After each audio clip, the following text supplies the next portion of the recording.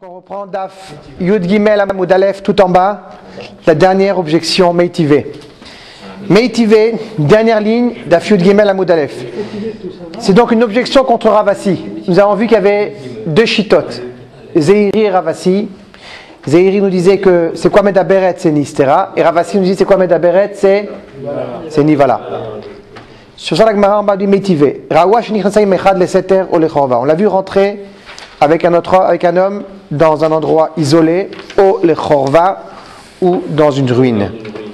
Va Amroula, et lui ont dit Mativo Shel Ishze. Quelle est donc de nouveau la même question? Les Rachamim voient. On a deux témoins qui témoignent la femme est rentrée s'isoler avec un homme ou dans une ruine ou dans un endroit isolé. On lui dit quel est le statut Mativo Shel Ishze? Et elle répond Kohenu ou Ben Achi Abaou. C'est un Kohen et c'est le fils du frère de mon père. Alors la première fois qu'on voit ça, habituellement elle disait Kohenu. Pourquoi est-ce qu'ici on nous précise qu'il est Ben Achi Abaou, le fils du frère de mon père Dans la Shtav Koubetet, il est rapporté, expliqué que d'après Zéhiri, ce n'est qu'un isolement qu'il y a eu, d'accord? On les a vus uniquement s'isoler. Donc si on les a vus que s'isoler, elle, peut très bien dire Mais attends, mais c'était mon cousin, c'est pas grand chose, on, est habitué à se voir. C'est, pas qu'on s'est rencontrés pour euh, quelque chose de particulier. C'est, c'est mon cousin. Voilà, bon, c'est vrai, mais bon, imaginez que c'était seulement s'isoler, seulement s'isoler. Elle dit, mais j'étais mon cousin, on avait besoin de discuter pour un problème familial, d'un grand-père. Euh, c'est une excuse un petit peu, d'accord, même avec les cousins et les cousines, il faut faire attention. Mais voilà une façon de dire que, et là c'est un chedouche, ce qu'on va essayer d'expliquer, c'est que même selon Rabbi Yoshua, regardez le coureur de Rabbi Yoshua, même si elle, elle dit qui c'est, qu'on peut vérifier, elle dit c'est mon cousin, et en plus, c'est quelqu'un avec, qui elle est proche et qu'elle pourrait avoir une discussion sans avoir de, de, relation, quoi, sans avoir un objectif de, relation. Quand même, Rabbi Yoshua, il dit Donc c'est le chidouche de Rabbi Yoshua de dire que même si elle parle d'un cousin, sous-entendu, même si on a le iroud qu'on a eu, c'est un iroud simplement de, d'amitié, eh bien de, de, de- familial, quoi, de, contexte familial, quand même, on la croit pas, et elle est considérée comme nivela d'après Rabbi Yoshua, les natin ou les mamzer. La Gemara raconte et nous dit, Rabbi et Rabbi Omrim, par contre, eux disent que quoi? Eux disent Nehemenet, ça veut dire qu'on lui fait confiance, et donc elle est Kshera Likeuna, elle pourrait épouser un Kohen. Rabbi Yoshua, Omer Lomipia Nuchaim, Rabbi Yoshua dit non, on ne peut pas vivre, comme on l'a vu plusieurs fois, par sa bouche. Elle a raison, Becheskat Beoula Natin Mamzer, a une présomption qu'elle a une relation avec un Natin et un Mamzer. Comme on a vu, c'est très particulier, ça veut dire que c'est c'est pas seulement un non-juif, un goy, mais un natin et un mamzer. C'est-à-dire que si elle a un, enfant de ça, l'enfant il est assourd bikal Israël. Donc c'est un grand ridouche. Euh, Il n'a pas le droit d'épouser qu'un mamzer ou une mamzerette ou un guerre ou pas autre chose. Donc elle a une présomption qu'elle est beula natin ou mamzer, ad shetavi reya lidvaria, jusqu'à ce qu'elle apporte une preuve à ses paroles. Et donc on voit la même marloquette qu'on a vu avant, celle de Rabbi Yoshua Rabban Gamliel, se retrouve de nouveau, de nouveau ici. Et là, l'Agmara va essayer de poser la question, puisqu'on a retrouvé un peu la même braïta que ce qu'on a vu dans notre qu'on voit dans notre Mishnah, l'Agmara va poser une question contre Ravasi. Quelle est la question? La Gemara dit, je comprends. Bish la Zéhiri. Selon Zéhiri, c'est compréhensible. Pourquoi? C'est pour ça qu'il a enseigné Dieu deux. Parce qu'ici, on voit a priori deux cas. Un, Seter. Deux, Chorva. Seter, c'est s'isoler dans un endroit isolé. Chorva, c'est une ruine qui était vraiment un contexte de débauche. D'accord? Donc on comprend que d'après Zéhiri, le premier cas dans notre Mishnah, c'était quoi? C'était Medaberet. Donc c'était simplement isolé, d'après lui, Nistera. Et le deuxième cas, c'était Meuberet. Elle est enceinte. Donc là, il y a eu vraiment une relation.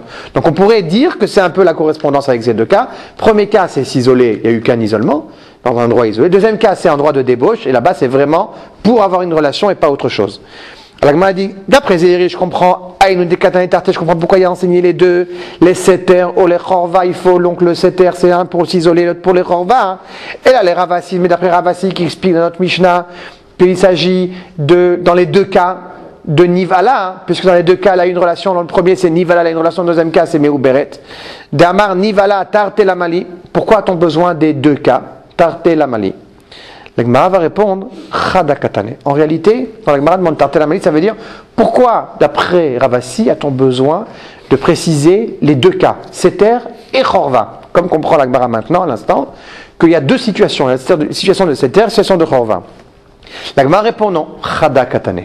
C'est-à-dire, ne crois pas qu'il s'agit de deux cas. En fait, il s'agit d'un seul cas. Les Seter de Chorva, c'est un endroit isolé dans une ruine. Donc c'était une façon de parler.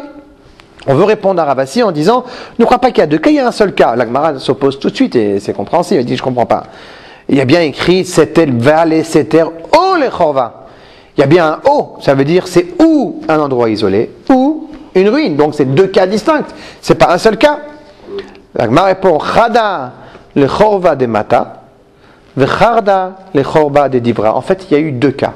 Le premier cas, c'est pour un endroit isolé dans la ville, et le deuxième cas, c'est dans, dans, le désert. La grande différence, c'est que dans la ville, c'était pas un endroit, à l'époque en tout cas, qui était fait pour la débauche. On pouvait s'isoler pour autre chose. Mais dans les champs et en dehors de la ville, c'est sûr que c'était pour la débauche. Les gens qui se rencontraient à l'extérieur, dans les ruines, dans ces endroits-là, c'était uniquement pour la débauche. Aujourd'hui, on pourrait dire que ça dépend de l'endroit, d'accord? Il y a des endroits euh, que si c'est un endroit euh, euh, qui est propice à ça, à Pigalle, on va pas se rencontrer dans une maison uniquement pour discuter affaires. C'est sûrement qu'il y a eu quelque chose. Donc même dans la ville aujourd'hui, ça dépend du contexte, ça dépend de l'endroit. Mais à l'époque, c'était en fonction de l'endroit.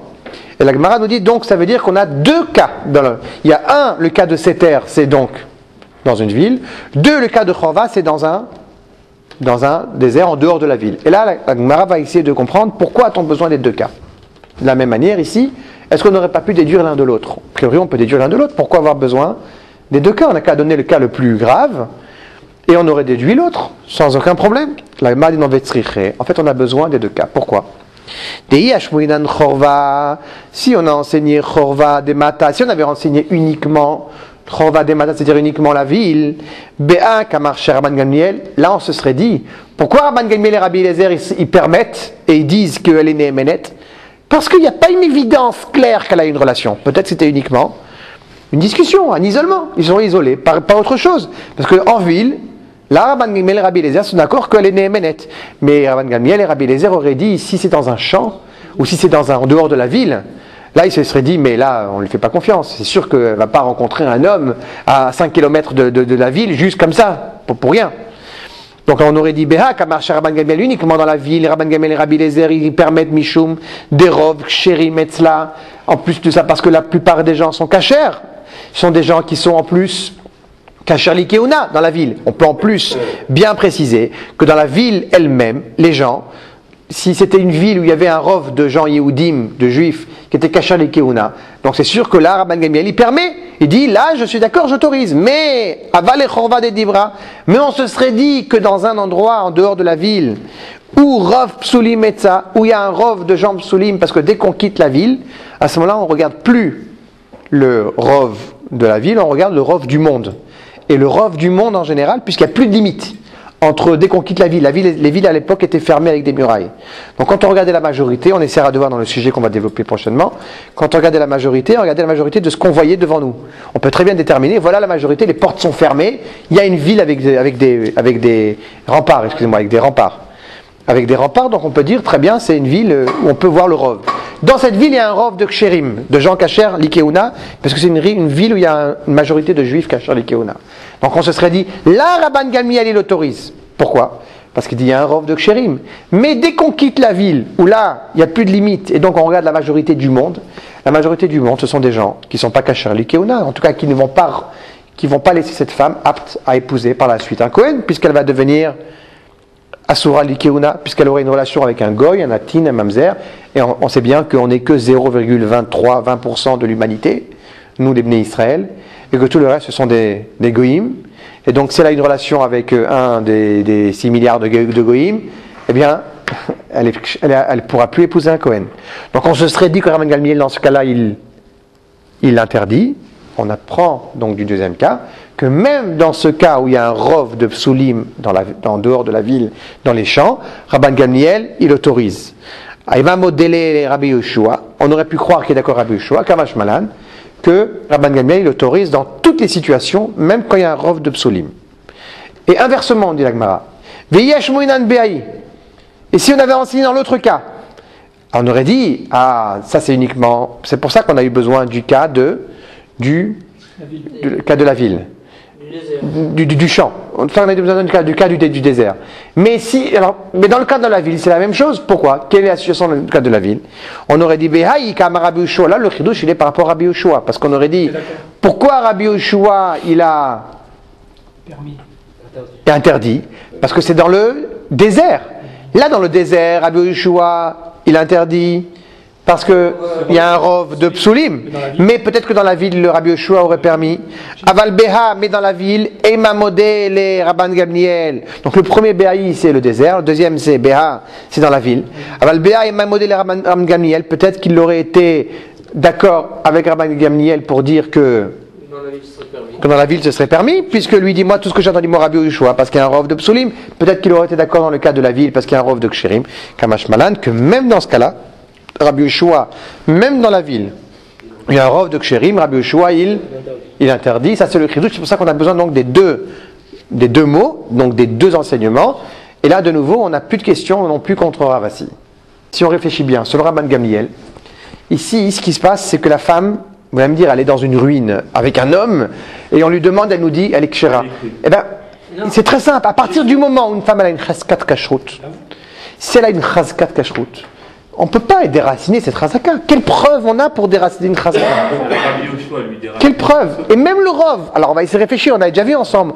Rouba avec chazaka, qu'est-ce qui est plus fort Rouba adif. Rouba adif ou pas c'est une grande question. Alors, c'est ce que dit Rabbi Ushua ici. Parce qu'à priori, c'est la question qu'on se pose ici. Puisque Rabbi Ushua, qu'est-ce qu'il dit et Rabban Gamiel, qu'est-ce qu'ils disent Ils disent elle est, elle, est, permise. Elle est née nette, la femme. Tant que la femme, elle vient et elle dit quelque chose, elle a sa présomption. Il y a Chazaka qu'une femme est Keuna, plus et doute que la femme, elle témoigne pour elle-même, ça suffit contre le rov. C'est assez fort, c'est assez puissant pour, pour enlever la majorité. Elle est très... En plus, on verra des migots, des trucs, je suis d'accord, elle aurait pu dire l'oniva. Bon, très bien. En plus de ça, elle a un migot de dire l'onivalti, et elle vient dire nivalti les adam kacher. Tous ces éléments-là font en sorte que Galmiel, il dit, elle est néménette, quelle que soit la situation, il y a Rov, il y a Parov, il y a tous ces néménettes. Tout ça, ça dépend de, maîtrise dans les que vous pouvez voir ici, de réflexion par rapport à tous ces éléments-là. Euh. Yeshua, lui, a l'air de penser, il va dire toujours un apotropos la rayot. Pour lui, ça repousse toutes les réflexions qu'on peut avoir. Un apotropos la rayot. Il va le dire d'ailleurs. Que ce soit que tu es un chazaka, que tu aies dit, mais ils sont ensemble. On les a vus s'isoler. Ça y est, quoi. On se pose plus de questions. Pour nous, c'est presque une preuve que, de la même manière qu'on verra que pour les goïms, on va voir tout à l'heure une femme qui a été prise en captivité. C'est-à-dire, même s'il n'y a pas de témoins qui ont vu la relation, c'est comme s'il y avait eu des témoins. Regardez ce qu'on va voir ce que dit Rachi. Rachi va dire, c'est comme s'il y avait eu des témoins qui étaient là. Donc Rabbi Oshua, lui, son conseil, c'est de dire, mais c'est très fort pour lui, pour Rabbi Oshua. Lui, il dit, mais elle a pas poste la rayot, ça repousse toutes les preuves qu'on pourrait avoir. Et Rabbi Oshua, il pense qu'à partir du moment où il y a eu à partir du moment où, il y a eu, où elle a perdu sa chaskat kashrut, c'est à elle de venir prouver maintenant pour, pour dire qui elle est, qu'elle est kshera. Ça y est, dès qu'il y a eu un ichrout, un isolement, elle a perdu définitivement sa chaskat kashrut. Donc elle est à une présomption qu'elle est béoula, les natin ou le mamzer. C'est-à-dire que même à l'extrême, on prend le pire. Pourquoi, madame, vous avez perdu votre chaskat kashrut, vous êtes plus kshera, à vous de prouver que vous êtes bien. Le nouveau Meitivé, notre position à Ravasi. On verra la fin de la réflexion, pourquoi c'est en opposition avec Ravasi. Zu edut shaishak sherala. Voici le témoignage où une femme peut témoigner sur elle et elle va devenir kacher. Zu edut shaisha ksherala. Qu'est-ce que ça veut dire On parle ici d'abord d'une tosefta qui est un peu plus loin et, qui nous relate la discussion qui entre Rabbi Yeshua et Rabban Gamliel. Et à ce propos, la Tosefta nous dit la chose suivante. Alors la Tosefta nous rapporte, cette Tosefta nous rapporte la discussion